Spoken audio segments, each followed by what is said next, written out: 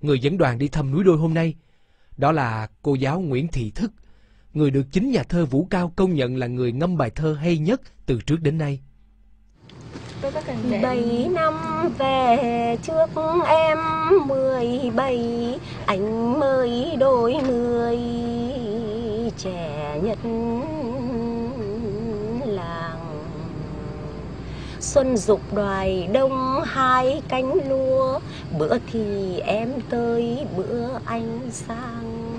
Lối ta đi giữa hai sườn núi, Đôi ngọn nên làng gọi núi đôi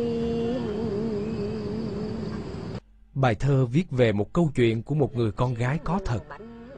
Chị tham gia du kích khi mới tuổi trăng tròn. Cái chết của người nữ du kích dũng cảm đến tai nhà thơ Vũ Cao khi ông điều trị ở bệnh viện quân y 74 gần Sóc Sơn sau ngày hòa bình. Quá xúc động, ông đã viết núi đôi. Mới đến đầu ao tin xét đánh, giặc giết em rồi dưới gốc thông.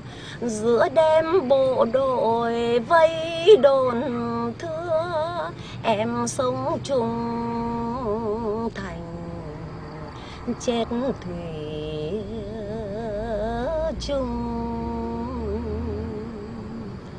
Anh ngước nhìn lên hai dốc núi hàng thông bờ cỏ con đường quen nắng lụi bóng dương Bài thơ và câu chuyện bóng đã làm tất cả mọi người xúc động mạnh mẽ. đôi Các chàng trai cũng mí mắt rưng rưng. anh mất